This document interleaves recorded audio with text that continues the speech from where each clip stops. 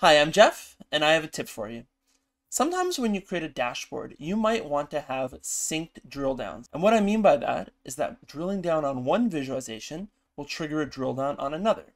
Now, I have three visualizations on this screen. They're all using the same data set, so there is a relationship between them. But if I go to view mode, by default, if I right click and I drill down on something, you can see that it's only the one that's being affected by the drill down.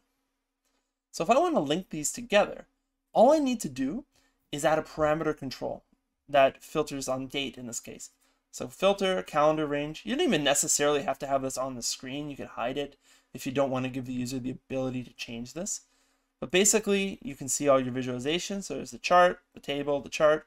Make sure that the common dimension that you're drilling down on is the one being selected.